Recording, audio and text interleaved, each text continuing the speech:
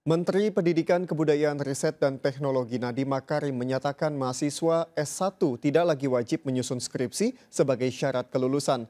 Sejumlah kalangan mengatakan implementasi peraturan Mendikbud Ristek tersebut perlu persiapan matang.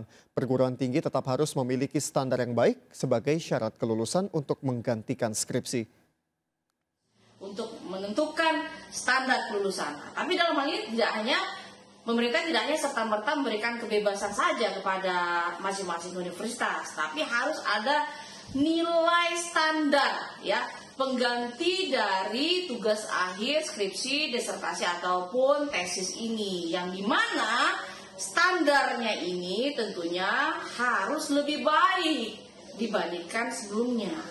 Standar nilai kelulusan ini ya walaupun tidak menggunakan skripsi misalkan. Ada universitas yang tidak menggunakan uh, tidak menggunakan atau persyaratannya sebagai skripsi sebagai salah satu syarat kelulusan tapi apa tugas akhirnya?